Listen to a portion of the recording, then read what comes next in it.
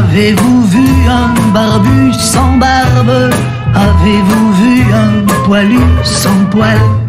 Car ce barbu m'a laissé sa barbe, oui ce poilu m'a laissé ses poils, poils de ce mot. Faut que je précise, car ce salaud m'a chipé lise.